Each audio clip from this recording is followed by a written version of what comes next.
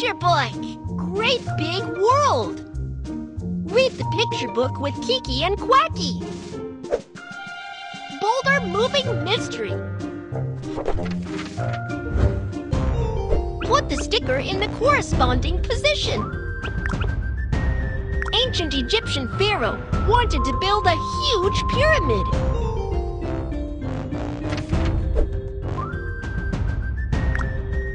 To build this pyramid, many, many stones were needed.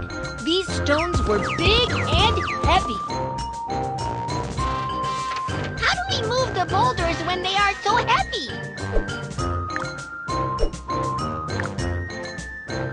Only strong young men could move them.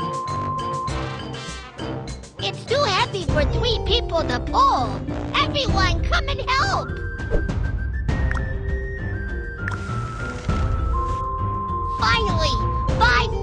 Can pull them. So many people pulled together, but it was still a lot of work.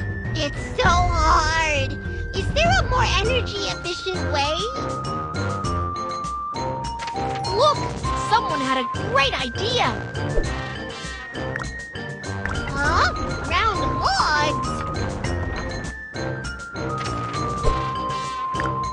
They put the round logs underneath the boulders. The round logs rolled, and the boulders moved on top. This method of moving was much easier. Wow! What a great idea! The Egyptians used this method to carry many, many boulders.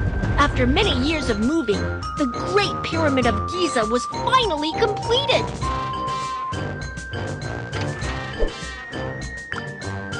The Great Pyramid of Giza is the most magnificent pyramid. It is almost 40 stories high. Finish reading the picture book story.